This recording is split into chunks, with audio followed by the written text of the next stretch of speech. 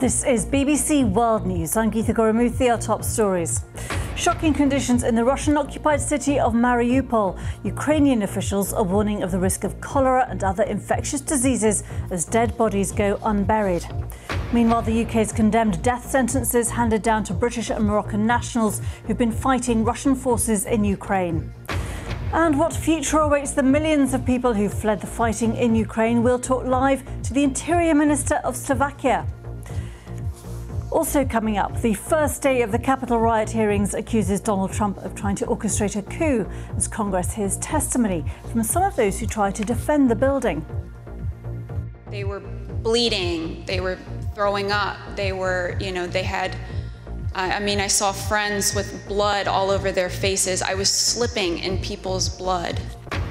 And the shipwreck which nearly killed a future king is discovered off the east coast of England.